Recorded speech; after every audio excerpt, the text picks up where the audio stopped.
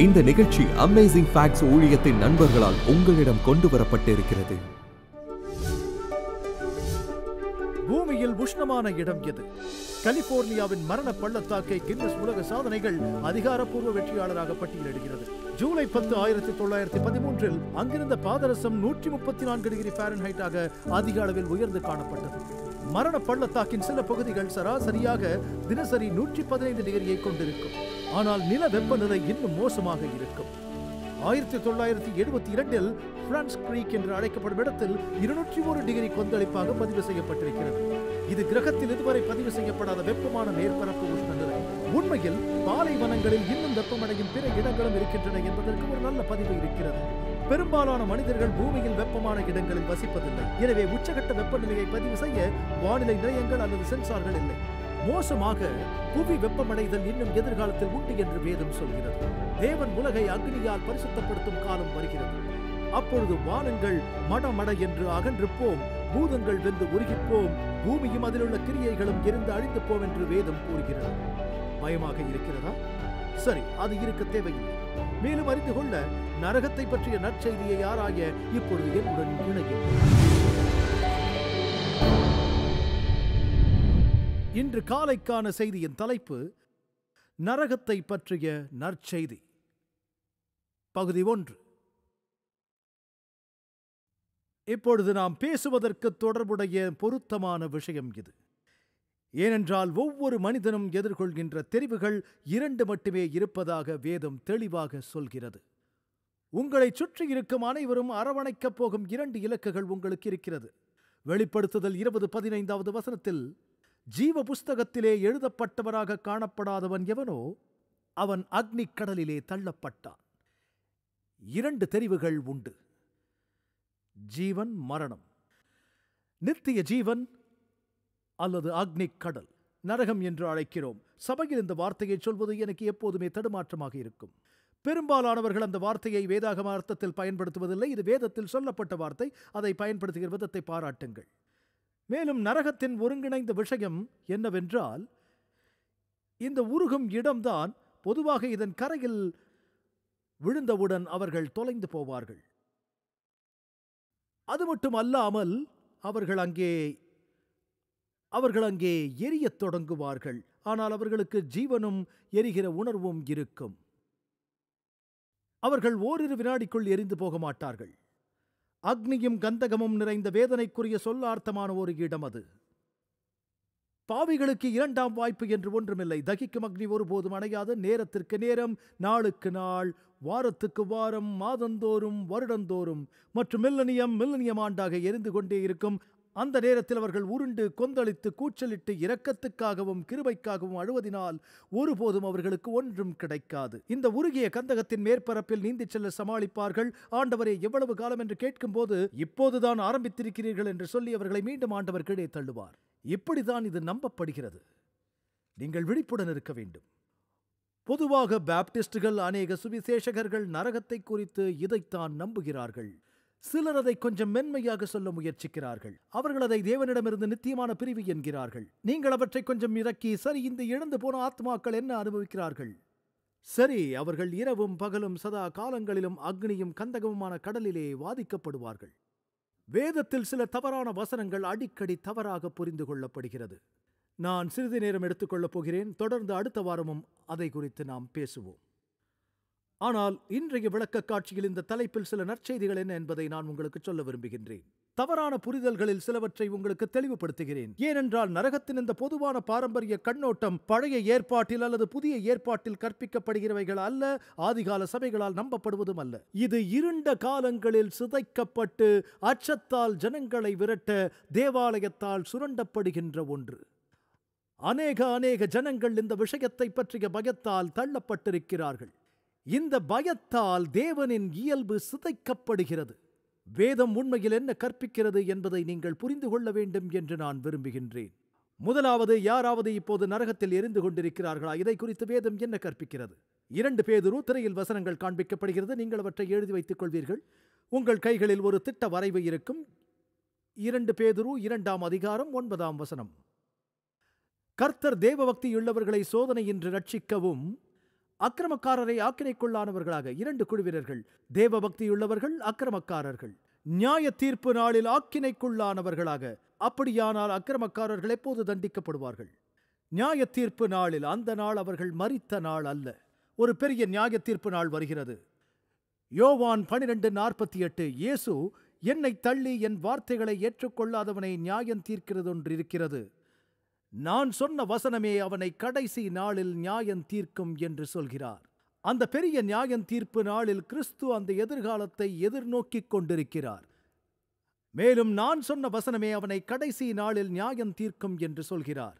அவர்கள் இன்னும் நியாயம் தீர்க்கப்படவில்லை அவர்கள் இதுவரை தங்கள் பலனை பெறவும் இல்லை இன்னும் சந்தேகம் இருந்தால் இயேசு சொன்ன உவமையை பார்க்கும்போது அது தெளிவாக புரியும். மத்தேயு பதிமூன்றாம் அதிகாரம் நாற்பதாவது வசனம். கோதுமை மற்றும் களைகள் உவமை உங்களுக்கு தெரியுமா? இங்கே ஒரு மனிதனுக்கு ஒரு வயல் இருப்பதை பற்றி இயேசு பேசுகிறார். மனுஷர் நித்திரை பண்ணுகையில் அவனுடைய சத்துரு வந்து கோதுமைக்குள் களைகளை விதைத்துவிட்டு போகிறான். பகிரானது வளர்ந்து கதிர்விட்ட போது களைகளும் காணப்பட்டது. வீட்டு எஜமானனுடைய வேலைக்காரர் அவனிடத்தில் வந்து அவைகளை பிடுங்கி போட சித்தமா? என்று கேட்டார்கள். அதற்கு அவர் வேண்டாம் நீங்கள் கோதுமையை கூட வேரோடே பிடுங்காதபடிக்கு இரண்டையும் அறுப்பு மட்டும் வளர விடுங்கள் களைகளை பிடுங்கி சுட்டரிக்கிறதற்கு கட்டுகளாக கட்டுங்கள். கோதுமையை சேர்த்து வையுங்கள் என்றான். ஆகவே இயேசு சீஷர்களுக்காக அந்த உவமையை விளக்குகிறார். அதனால் எந்த விதமான தவறான புரிதலும் அவர் சொல்லவில்லை. மத்தேயு பதிமூன்று நாற்பதாவது வசனம். ஆதலால் களைகளை சேர்த்து அக்னியால் சுட்டரிக்கிறது போல இவ்வுலகத்தின் முடிவிலே நடக்கும். மனுஷகுமாரன் தம்முடைய தூதர்களை அனுப்புவார். இயேசு வரும்போது அவர்கள் அவருடைய ராஜ்யத்தில் இருக்கிற சகல இடரல்களையும் அக்கிரமம் செய்கிறவர்களையும் சேர்த்து அவர்களை அக்னி சூளையிலே போடுவார்கள். துன்மார்கர்கள் இழந்து போனவர்கள் அங்கே அழுகையும் பற்கடிப்பும் உண்டாயிருக்கும். சரி நாம் கற்றுக்கொண்ட ஒரு விஷயம். அங்கே ஒரு அக்னி சூளை இருக்கிறது. ஆனால் அவைகள் இன்னும் எரியவில்லை என்பதை நாம் அறிகிறோம். ஏனெனில் நியாய தீர்ப்பு நாள் உண்டாகவில்லை. இந்த அறுவடை இன்னும் நடக்கவில்லை. துன்மார்கர்களின் உயிர் தெடுதல் இன்னும் நடக்கவில்லை. இது இன்னும் எதிர்காலத்தில் தான் நடக்கவிருக்கிறது. இதிலே சில நற்செய்திகளை கண்டுபிடித்திருப்பீர்கள் என்று நம்புகிறேன். இப்போது யாரும் நரகத்தில் இருந்து கொண்டிருக்கவில்லை. எனவே இப்போது தங்கள் ஆத்மாக்களை இழந்து போனவர்கள் எங்கே? யோவான் ஐந்து இருபத்தி எட்டு இருபத்தி ஒன்பது. இதை குறித்து நீங்கள் ஆச்சரியப்பட வேண்டாம். சத்தத்தை கேட்கும் காலம் வரும். எதிர்வினை சொல். ஏனென்றால் பிரேத குழிகளில் உள்ள அனைவரும் அவருடைய சத்தத்தை கேட்கும் காலம் வரும். அப்பொழுது நன்மை செய்தவர்கள் ஜீவனை அடையும்படி எழுந்திருக்கிறவர்களாகவும் என்று இயேசு பதிலளிக்கிறார். அதுதான் முதல். அப்பொழுது கிறிஸ்துவுக்குள் மறித்தவர்கள் முதலாவது எழுந்திருப்பார்கள். வேதம் சொல்வது இதைத்தானா? மற்றும் தீமை செய்தவர்கள் ஆக்கினையை அடையும்படி எழுந்திருக்கிறவர்களாகவும் புறப்படுவார்கள். அது தண்டனையின் உயிர்த்தெழுதல் தானியேல் பனிரெண்டாம் அதிகாரத்திலும் பேசப்படுகிறது. எதிர்காலத்தை குறித்து இயேசு சொன்னார்.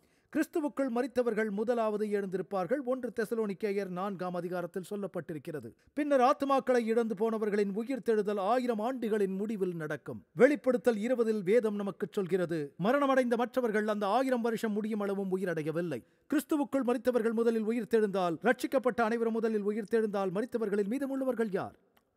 கிறிஸ்துவுக்குள் மறிக்காதவர்கள் ஆத்மாக்களை இழந்து போனவர்கள்.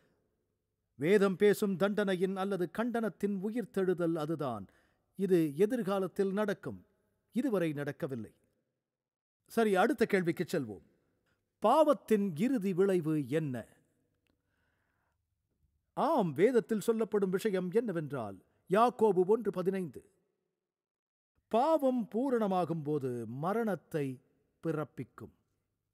எனவே இரண்டு பலன்கள் கிடைக்கும். ஒன்று ஜீவன் மற்றொன்று மரணம். மோசே சொன்னார் உபாகமம் முப்பதாம் அதிகாரத்தில் இஸ்ரவேல் புத்திரர் வாக்கு பண்ணப்பட்ட தேசத்திற்குள் நுழைவதற்கு முன்பு இதோ ஜீவனையும் நன்மையையும் மரணத்தையும் தீமையையும் இன்று உனக்கு முன்னே வைத்தேன் என்கிறார்.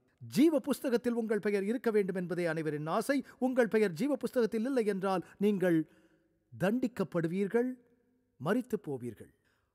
பாவத்தின் இறுதி முடிவு அக்னியில் நித்திய ஜீவன் அல்ல அது வேதத்தில் சொல்லப்படவில்லை. நீங்கள் அழியாத ஆத்மாவை பெற்றிருப்பதாக வேதத்தில் சொல்லப்படவில்லை. நான் இங்கு நிறுத்தி உங்களிடம் கேட்கிறேன். வேதத்தில் ஒரு வசனத்தை எனக்கு காட்டுங்கள். உங்களுக்கு அழியாத ஆத்மா இருப்பதாக வேதம் சொல்கிறதை காட்டுங்கள். தேவன் அழியாதவர் ஆனால் அழியாதது உயிர் தேடுதலில் கொடுக்கப்படுகிறது. இப்போது யாரும் அழியாமையை கொண்டிருப்பதில்லை. நம் சரீரங்கள் சாவுக்கு ஏதுவானது என்று அழைக்கப்படுகின்றன. இயேசு வரும்போது இந்த மரணமானது அழியாத நன்மைகளைக் கொண்டு இருக்கும். யோவான் மூன்று பதினாறு. நிச்சயம் முதலில் ரோமரில் இருந்து ஒன்றை வாசிக்கலாம் என்று நினைக்கிறேன். ரோமர் ஆறு இருபத்தி மூன்றை படிப்போம். பாவத்தின் சம்பளம் மரணம். தேவனுடைய கிருபை வரமோ கிறிஸ்துவினால் உண்டான நித்திய ஜீவன். இங்கே எல்லோருக்கும் இரண்டு விருப்பங்கள் இருக்கும். நான் உங்களுக்கு ஒன்றை நிச்சயமாக சொல்ல முடியும். இங்கே எல்லோரும் அந்த இரண்டு விருப்பங்களில் ஒன்றை பெற்றிருப்பார்கள். அந்த இரண்டு விருப்பங்கள் என்ன? ஒன்று மரணம். பாவத்தின் சம்பளம் அக்னியில் நித்திய ஜீவன் என்று அவர் சொல்லவில்லை. அவர் சொல்கிறார் பாவத்தின் சம்பளம் மரணம். தேவனுடைய கிருபை வரமோ நித்திய ஜீவன். இயேசு நம் பாவங்களுக்காக மறித்தாரா நம் பாவங்களுக்கான தண்டனையை ஏற்றுக்கொண்டாரா? இயேசு சாதாரணமாக விழுந்து போனவராக மறித்தாரா அல்லது பாடுபட்டு நமக்காக மறித்தாரா எனவே பாவத்திற்கான சம்பளம் மரணம் மட்டுமல்ல இறுதியான மோசமான தண்டனைதான் மரணம். ஆகவே அவர் பாடுபட்டு மறித்தார் நம் சார்பாக இயேசு செய்த தியாகத்தை நாம் ஏற்றுக்கொள்ளாவிட்டால் நமக்காக அவர் மறித்தார் என்று நாம் ஏற்றுக்கொள்ளாவிட்டால் நமக்காக அவர் மறித்தார் என்று நாம் ஏற்றுக்கொள்ளாவிட்டால் நம்முடைய பாவங்களுக்காக நாம் பாடுபட்டு மறிக்கக்கூடும் இது அர்த்தமுள்ளதாக தெரியவில்லையா? யோவான் மூன்று பதினாறு இரண்டு தெரிவுகள். தேவன் தம்முடைய ஒரே பேரான குமாரனை விசுவாசிக்கிறவன் எவனோ அவன் கெட்டுப் போகாமல் நித்திய ஜீவனை அடையும்படிக்கு அவரை தந்தருளி இவ்வளவாய் உலகத்தில் அன்பு கூர்ந்தார். இரண்டு தெரிவுகள் மட்டுமே இருக்கின்றன. ஒரு தெரிவு அக்னியில் நித்திய ஜீவன் அல்ல அழிந்து போவது என்பது வாழ்க்கை இல்லாமல் போவது. ஒன்று அழிந்து போவார்கள் அல்லது நித்திய ஜீவனை அடைவார்கள். இயேசு யோவான் மூன்று பதினாறில் தெளிவுபடுத்தி இருக்கிறார் அடுத்த கேள்வி எண் நான்கு. நரக அக்னியில் துன்மார்கர்களுக்கு என்ன நடக்கும்? சங்கீதம் முப்பத்தி ஏழு பத்தாவது வசனம் நான் இருபதாவது வசனத்தையும் படிக்கிறேன் நீங்கள் முழு சங்கீதத்தையும் படியுங்கள். நரக அக்னியில் துன்மார்கர்களுக்கு என்ன நடக்கும்? இங்கே நாம் படிப்போம். இன்னும் கொஞ்ச நேரம்தான் அப்போது துன்மார்கன் இரான் அவன் ஸ்தானத்தை உற்று விசாரித்தாயானால் அவன் இல்லை. அவர்கள் இருக்க மாட்டார்கள். அதாவது ஏற்கனவே இருப்பதை விவரிக்க வேறு எந்த சொல் எந்த சொற்களை பயன்படுத்துவீர்கள்? அவர்கள் இருக்க மாட்டார்கள். துன்மார்கரோ அழிந்து போவார்கள். கர்த்தருடைய சத்துருக்கள் ஆட்டுக்குட்டிகளின் இனத்தைப் போல் புகைந்து போவார்கள். அவர்கள் புகையாய் புகைந்து போவார்கள். சில போதகர்கள் ஆம் சரி அது உண்மைதான். சரீரம் அனைத்தும் அக்னியில் அழிந்து போகும். ஆனால் ஆத்துமா என்றென்றும் எரிந்து கொண்டே இருக்கும் என்கிறார்கள். ஆனால் இயேசு பாவம் செய்கிற ஆத்துமாவே சாகும் என்றார். உண்மையில் அது எசேக்கியலில் சொல்லப்பட்டிருக்கிறது. இயேசு சொன்னார் சரீரத்தை மாத்திரம் கொல்லுகிறவர்களுக்கு நீங்கள் பயப்பட வேண்டாம். மத்தேயு பத்தாம் அதிகாரம். ஆத்மாவை கொல்ல வல்லவர்களாயிராமல் ஆத்துமாவையும் சரீரத்தையும் நரகத்திலே அழிக்க வல்லவருக்கே பயப்படுங்கள். எரிவது சரீரம் மட்டுமல்ல ஆத்துமாவும் சரீரமும் தான் மல்கியா நான்கு வசனம் ஒன்று. இது நம் வேத வாசிப்பில் இருந்தது. இதோ சூளையைப் போல் எரிகிற நாள் வரும். அப்பொழுது அகங்காரிகள் யாவரும் அக்கிரம் செய்கிற யாவரும் துரும்பாயிருப்பார்கள். வரப்போகிற அந்த நாள் அவர்களை சுட்டெரிக்கும். அது அவர்களுக்கு வேரையும் கொப்பையும் வைக்காமற் போகும் என்று சேனைகளின் கர்த்தர் சொல்லுகிறார். தேவன் இங்கே பயன்படுத்துகிற சொற்களை நீங்கள் சிந்திக்க வேண்டும். நான் உங்களுக்கு இன்னும் ஒன்றை சொல்கிறேன். நான் உங்களுக்காக இந்த எண்ணத்தை தொகுத்து சொல்ல முயற்சிக்கிறேன். வெளிப்படுத்துதல் இருபத்தி ஒன்று வசனங்கள் ஏழு எட்டு. ஜெயம் கொள்ளுகிறவன் எல்லாவற்றையும் சுதந்திரித்துக் கொள்ளுவான். இதில் நற்செய்தி இருக்கிறது இல்லையா? நான் அவன் தேவனாயிருப்பேன் அவன் என் குமாரனாயிருப்பான். ஒரு பக்கத்தில் உங்களுக்கு ஆடு கிடைத்திருக்கிறது அவை நித்திய ஜீவனை பெறுகின்றன அவைகள் ரட்சிக்கப்பட்டவைகள். ஆனால் இது எட்டாவது வசனத்தில் வெளிப்படுத்துதல் இருபத்தி ஒன்று எட்டு. பயப்படுகிறவர்களும் அவிசுவாசிகளும் அருவருப்பானவர்களும் கொலை பாதகரும் விபச்சாரக்காரரும் சூனியக்காரரும் விக்கிரக ஆராதனைக்காரரும் பொய்யர் அனைவரும் இரண்டாம் மரணமாகிய அக்னியும் கந்தகமும் எரிகிற கடலிலே பங்கடைவார்கள் என்றார். வெளிப்படுத்துதல் இருபது வசனம் ஒன்பது. நரகம் எங்கே எரிந்து கொண்டிருக்கிறது? மில்லினியத்தின் முடிவில் தேவனின் நகரத்திற்கு எதிராக அந்த இழந்த சக்திகளை சாத்தான் ஒருங்கிணைக்கும் போது அவர்கள் பூமியெங்கும் பரம்பி பரிசுத்தவான்களுடைய பாளையத்தையும் பிரியமான நகரத்தையும் வளைத்துக் கொண்டார்கள். அப்பொழுது தேவனால் வானத்திலிருந்து அக்னி இறங்கி அவர்களை பட்சித்துப் போட்டது. புதிய எருசலேமைச் சுற்றி உருவாக்கி அக்னிக்கடல் மழை பொழியும். அது பூமியில் இருக்கிறது. எனவே நரகம் எரியப் போகிறது. பூமியின் மேல். இன்னும் சில வசனங்களை தருகிறேன். நீதிமொழிகள் பதினொன்று முப்பத்தி ஓராவது வசனம். இதோ நீதிமானுக்கு பூமியில் சரி கட்டப்படுமே துன்மார்கனுக்கும் பாவிக்கும் எத்தனை அதிகம். ஒவ்வொருவரும் குற்றம் செய்கிற இடத்திலேயே தங்கள் பலனை அடைந்து தீரப் போகிறார்கள். சரியாக இந்த லோகத்தில். இரண்டு பேதரும் மூன்றாம் அதிகாரம் பத்தாவது வசனம். கர்த்தருடைய நாள் இரவிலே திருடன் வருகிற விதமாய் வரும். அப்பொழுது வானங்கள் மடமட என்று அகன்று போம் பூதங்கள் வெந்து உருகிப்போம். பூமியும் அதில் உள்ள கிரியைகளும் எரிந்து அழிந்து போம் எனவே அதில் எப்பொழுதும் கவனம் செலுத்துவோம். அந்த அந்த நியாய தீர்ப்பு இங்கேயே நடக்கும். நரகம் இந்த பிரபஞ்சத்தில் எங்கும் இருக்கப் போகிற ஒரு குகை அல்ல. அது உருகும் அக்னியால் நிரம்பியிருக்கும். நரகம் இந்த பிரபஞ்சத்தில் எங்கும் காணப்படும் ஒரு குகை அல்ல. அது பூமியின் மேற்பரப்பில் தான் இருக்கும். நண்பர்களை எங்கும் சென்றிட வேண்டாம். இன்றைய விளக்க காட்சிக்கு இன்னும் சற்று நேரத்தில் நாங்கள் திரும்பி வருவோம். இன்று நம் உலகில் மிகவும் குழப்பமான விஷயங்களில் ஒன்று நாம் மறிக்கும் போது என்ன நடக்கும் என்பது பெரிய கேள்வி. பிற்பட்ட வாழ்க்கையை பற்றிய கருத்துக்களுக்கு எல்லா இடங்களிலும் உங்களை ஒருவர் திருப்புவது போல் தெரியும். பரலோகம் நரகம் ஆகிய வாழ்வை மறந்து இந்த அனைத்து முரண்பாடான மற்றும் குழப்பமான செய்திகளிலும் நீங்கள் சோர்வடைந்து விடுவீர்கள். வேதம் உண்மையில் என்ன சொல்கிறது என்பதை நீங்கள் அறிய விரும்புகிறீர்களா? அற்புதமான உண்மைகள் உங்களுக்கு ஒரு சிறப்பு வாய்ந்த இலவச பத்திரிகையை அனுப்ப விரும்புகின்றது. இந்த நான்கு வண்ண இதழ் கவரும் வகையில் வேதாகம உண்மைகளை எளிமையாக வழங்குகிறது. மரணம் நரகம் மற்றும் நித்திய ஜீவனை நாம் அறிந்து கொள்ள இது உதவும் என்று நம்புகிறோம். குழப்பமான விஷயங்கள் அனைத்திற்கும் உள்ள வாழ்க்கையின் மத்தியில் ஒரு வசீகரிக்கும் மற்றும் சமகால வழியில் சக்தி வாய்ந்த படிப்பினைகளை இது வழங்குகிறது. நாம் மறிக்கும் போது என்ன நடக்கப் போகிறது என்பதையும் உள்ளடக்கி இருக்கிறது.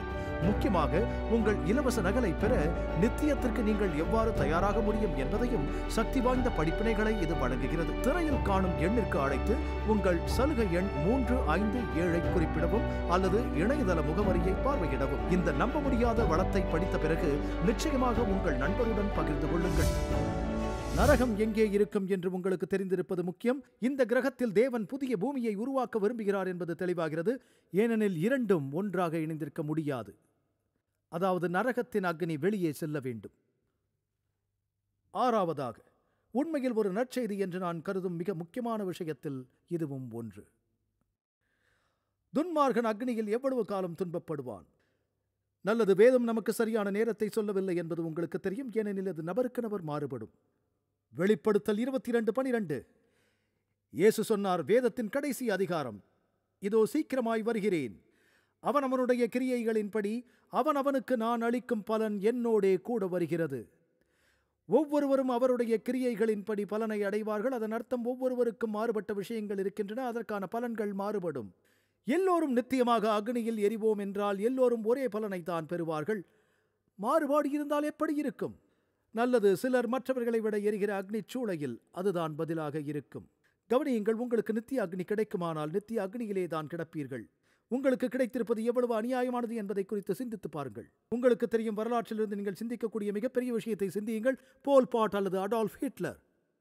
ஹிட்லரை விட மோசமாக ஸ்டாலின் கொல்லப்பட்டார் என்று சிலர் நினைக்கிறார்கள். நீங்கள் இழந்து விட்டதாக கருதும் உங்கள் மிகப்பெரிய காரியத்தை தேர்ந்தெடுங்கள். நியாய தீர்ப்பு நாளில் ஆண்டவர் அக்னி கடலிலே தள்ளப்பட்டன என்று சொல்கிறார். தேவதூதர்கள் எரிகிற அக்னி கடலிலே அவனை தூக்கி எறிந்து விடுவார்கள். அதில் நீங்கள் இளம் வயதினரை கூட பார்க்கலாம். அவன் கணக்கு ஒப்புவிக்கும் வயதை கடந்து விடுகிறான். நன்கு தெரிந்து கொள்ளும் அளவுக்கு வயதாகி விடுவான். ஆனால் அவன் தேவனை நிராகரித்தவன். தனது சொந்த வாழ்க்கையை தெரிந்து கொள்கிறான். ஆண்டவர் சொல்வார் மன்னிக்கவும் நீங்கள் ரட்சிக்கப்படவில்லை அடால்ஃப் ஸ்டாலினுக்கு அடுத்தபடியாக நீ என்றென்றும் அக்னியில் தள்ளப்படுவாய் என்று. அது நீதியாகுமா? இல்லை நான் சொல்கிறேன் இது நம் விஷயத்தில் முற்றிலும் மீறினது. நல்லது வேதம் தெளிவாக சொல்கிறது பலவித தண்டனைகள் இருப்பதாக இதில் சொல்லப்படுகிறது அது குறித்து இன்னும் சில வசனங்களை சொல்கிறேன். மத்தேயு பத்து இருபத்தி எட்டு. ஆத்மாவை கொல்ல வல்லவர்களாயிராமல் சரீரத்தை மாத்திரம் கொல்லுகிறவர்களுக்கு நீங்கள் பயப்பட வேண்டாம் இதை நான் ஏற்கனவே மேற்கோள் காட்டியிருக்கிறேன். ஆத்மாவையும் சரீரத்தையும் நரகத்திலே அழிக்க வல்லவருக்கே பயப்படுங்கள். எனவே நரகத்தில் துன்மார்கர் அழிக்கப்படுவார்கள் மத்தேயோ பதினாறு. அவன் அவனுக்கு பலனளிப்பார் பதினாறு இருபத்தி ஏழு. அவனவன் கிரியைக்கு தக்கதாக. எல்லோரும் மறுபடியுமாக நாம் எதற்காக ரட்சிக்கப்பட்டோம் கிரியைகளினாலா விசுவாசத்தினாலா? துன்மார்கரின் நியாய தீர்ப்பில் பயன்படுத்தப்படும் ஒரே விஷயம் கிரியைகள். அக்னி இறுதியில் வெளியேறுமா? ஏசாயா நாற்பத்தி ஏழு பதினான்கு. இதோ அவர்கள் தாளடியைப் போல இருப்பார்கள் நெருப்பு அவர்களை சுட்டரிக்கும் என்று அது கூறுகிறது. துன்மார்கரை பற்றி பேசுகிறது. அவர்கள் தங்கள் பிராணனை அக்னி ஜுவாலையின் என்று விடுவிப்பதில்லை. அது குளிர் காயத்தக்க தழலும் அல்ல எதிரே உட்காரத்தக்க அடுப்பும் அல்ல. ஒரு நிலக்கரி கூட மிச்சமாகாது. மல்கியா நான்கு மூன்று துன்மார்க்கரை மிதிப்பீர்கள். நான் இதை செய்யும் நாளிலே அவர்கள் உங்கள் உள்ளங்கால்களின் கீழ் சாம்பலாயிருப்பார்கள் என்று சேனைகளின் கர்த்தர் சொல்லுகிறார். அவர்கள் பூமியை சுதந்திரித்துக் கொள்ளுவார்கள். துன்மார்களின் நியாய தீர்ப்புக்கு பிறகு நாம் புதிய எருசலேமுக்கு செல்வோம். அவர்கள் என்றென்றும் எரிக்க தகுதியுடையவர்கள் என்றால் அவர்கள் அனைவரும் பிசாசு மற்றும் அவனுடைய தூதர்கள் உட்பட அனைவரும் எரிக்கப்படுவார்கள். அது யார்? அது லூசிஃபராக இருக்க வேண்டும்.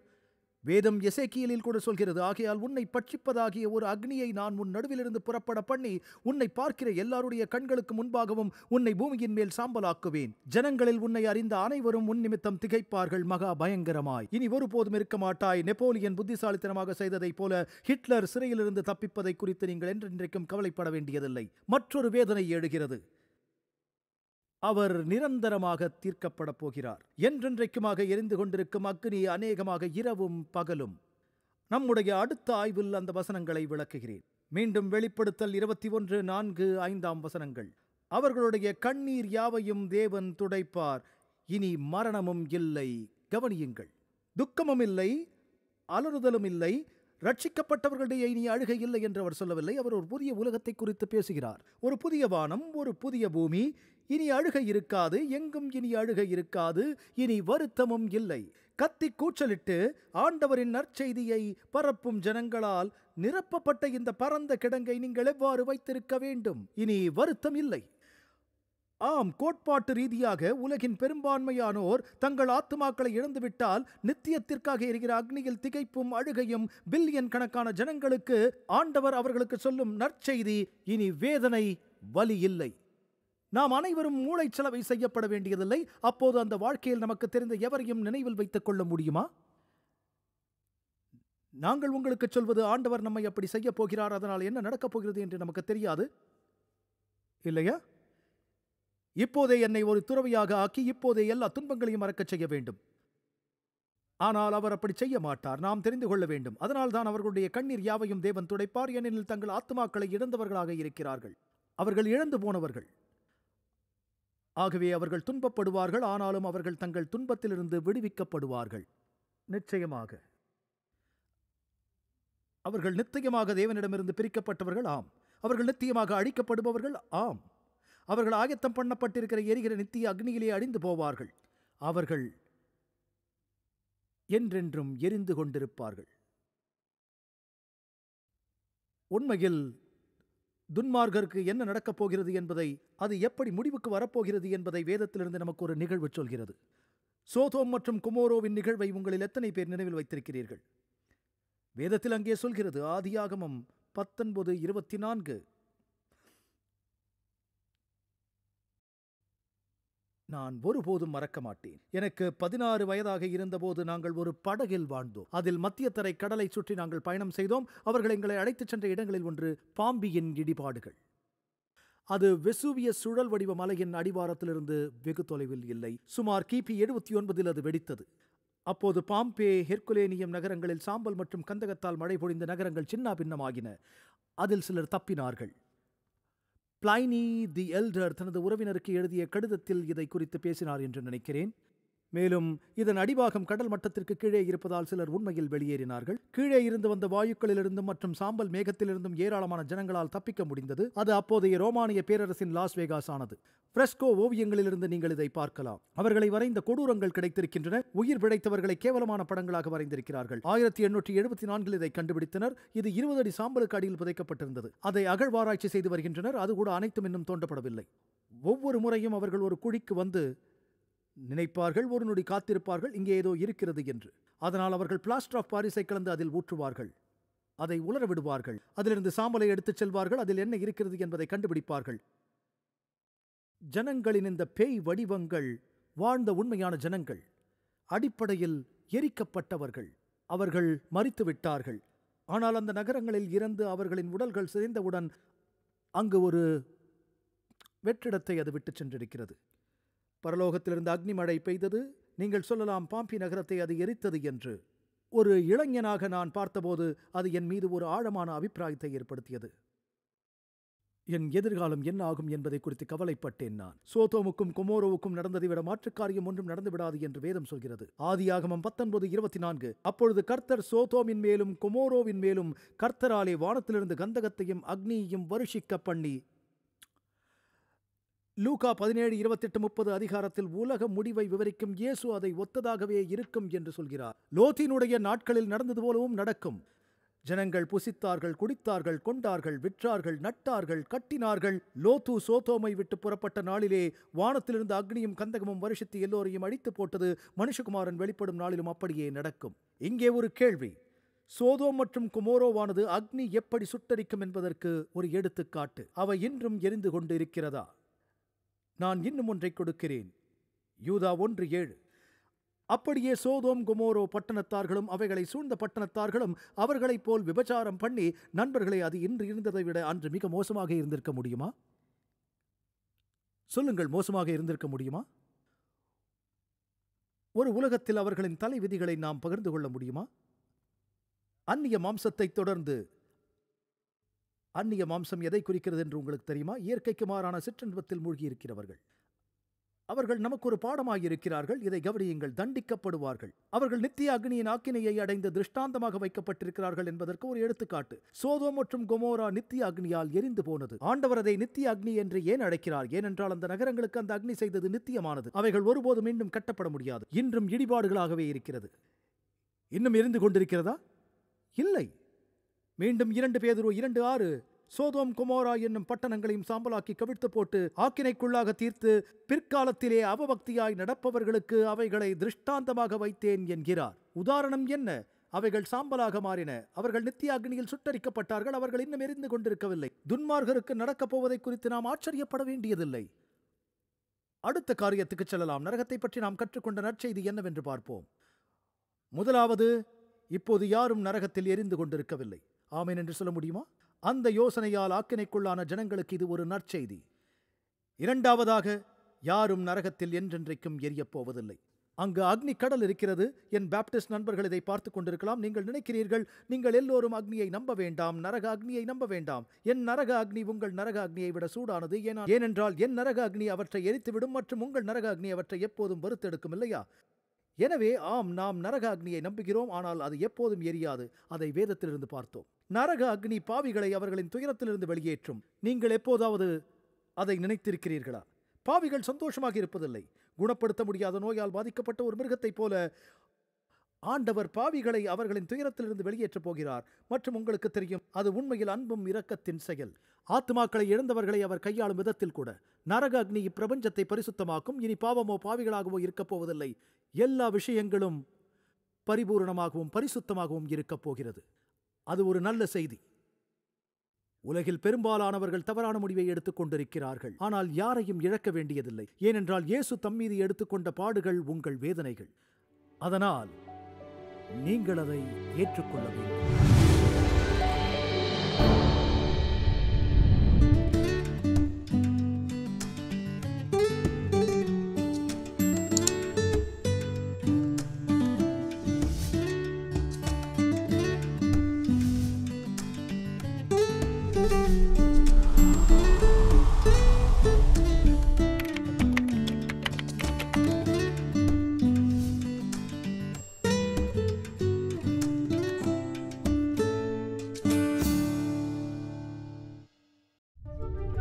ஐம்பது வருடங்களுக்கும் மேலாக அமேசிங் ஃபேக்ட் ஊழியங்கள் நற்செய்தியை உலகம் முழுவதும் பகிர்ந்து கொண்டிருக்கிறது. இயேசுவின் சித்தத்தின்படி அனைத்து மக்களுக்கும் நித்திய சுவிசேஷத்தை அறிவித்துக் கொண்டிருக்கிறது. உங்கள் ஜெபத்திற்கும் ஆதரவிற்கும் நன்றி. இன்றைய இலவச சலுகையை விண்ணப்பிக்க மறந்து விடாதீர்கள் அது நிச்சயம் ஆசீர்வாதமாய் இருக்கும் உங்களது தொடர்ச்சியான ஆதரவுக்கு நன்றி. நாங்கள் இயேசு கிறிஸ்துவின் சுவிசேஷத்தை உலகெங்கிலும் கொண்டு செல்கிறதினால் நீங்கள் அடுத்த வாரம் இணைந்திருக்க உதவி செய்து கர்த்தருடைய வேத வார்த்தையில் மூழ்கி அற்புத உண்மைகளை ஆராயச் செய்வோம். இந்த நிகழ்ச்சி அமேசிங் ஃபேக்ட்ஸ் ஊழியத்தின் நண்பர்களால் உங்களிடம் கொண்டு வரப்பட்டிருக்கிறது.